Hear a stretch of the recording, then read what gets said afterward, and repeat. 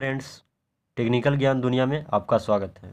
Laptop और PC से जुड़ी किसी भी तरह की जानकारी प्राप्त करने के लिए हमारे चैनल को सब्सक्राइब करें ताकि जो भी वीडियो अपलोड हो, वो आपके पास पहुँच सके।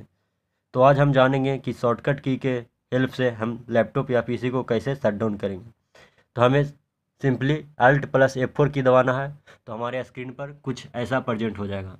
इसके बाद हमें इंटर की दबा देना है तो ये देखिए हमारा लैपटॉप शट डाउन हो रहा है।